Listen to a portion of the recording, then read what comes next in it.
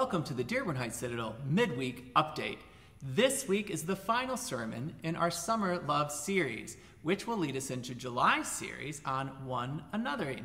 We'll be exploring the Bible's call for how we relate in love to one another. We kicked off our prayer partner ministry with our junior soldier prayer partner picnic this last week.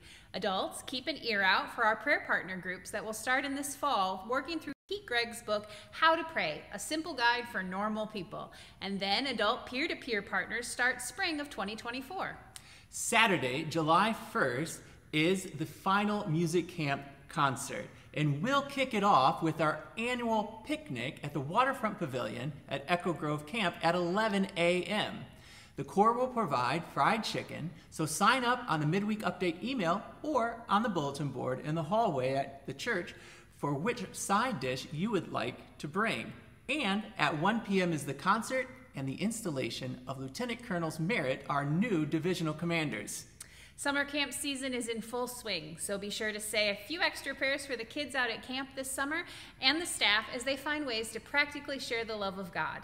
As always, check below for a full list of our upcoming events and check out your midweek update for other things that might be happening in our email. See you on Sunday at 10 a.m.